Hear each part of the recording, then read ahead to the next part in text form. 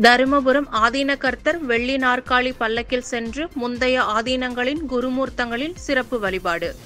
தருமபுரம் ஞானபுரீஸ்வரர் கோவில் பெருவிழா கடந்த இருபதாம் தேதி கொடியேற்றத்துடன் தொடங்கி நடைபெற்று வருகிறது. பத்தாம் நாள் விழாவான இன்று ஆதீனத்தை தோற்றுவித்த குரு ஞான சம்பந்தரின் குருவான கமலை ஞான பிரகாசர் குரு பூஜை திருநாள் இன்று கொண்டாடப்படுகிறது. இதை முன்னிட்டு தருமபுரம் மேலவீதியில் உள்ள முந்தைய ஆதீனங்களின் குருமூர்த்தங்களுக்கு தருமபுரம் ஆதீனம் இருபத்தி ஏழாவது குருமகா சன்னிதானம் ஸ்ரீலஸ்ரீ மாசிலாமணி தேசிக ஞானசம்பந்த பரமசாரிய சுவாமிகளை பக்தர்கள் வெள்ளி நாற்காலி பல்லக்கில் சுமந்து செல்ல மூன்று யானைகள் ஒட்டகம் குதிரை ஆகிய மங்கள சின்னங்கள் முன் செல்ல ஆதீன திருக்கூட்டத்து அடியவர்களின் ஊர்வலமாக சென்று வழிபாடு நடத்தினர்.